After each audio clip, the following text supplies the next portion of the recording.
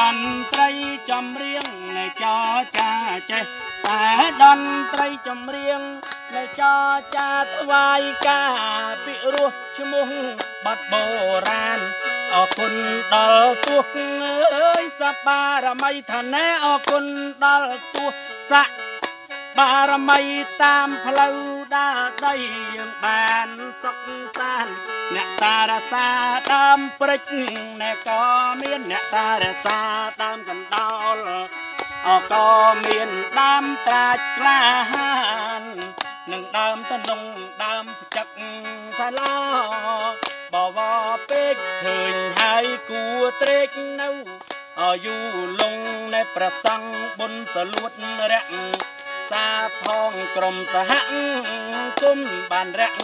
សាផងបំណងឲ្យក្មេងក្រោយ បានឃើញច្បាស់បានឃើញច្បាស់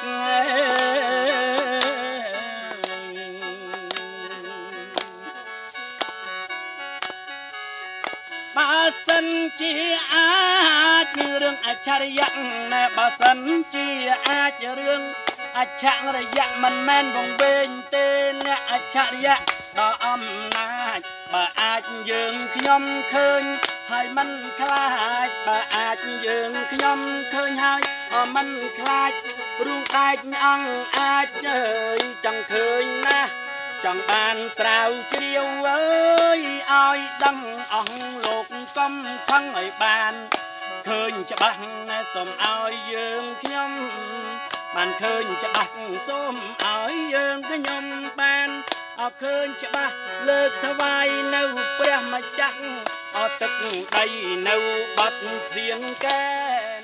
មែនពីរស់នៅបាត់សៀងកែនមែនអពីរស់លោកគ្រូស្មោះផ្លំតន្ត្រីរួមទាំងចម្រៀងក្លំក្រៃរួមទាំងចម្រៀងច្រៀងក្លំក្រៃខេត្តឧត្តរមានជ័យនៅ នេះណាណែមកដល់ទីភ្នំហើយរូងដែកឃើញកន្លែងស្លពីបុរាណអណាចាបន្សល់ទុកអាចដែកញ៉ើយខ្លាំងខ្លាបន្សល់ទុកនៅអាចដែកយ៉ាង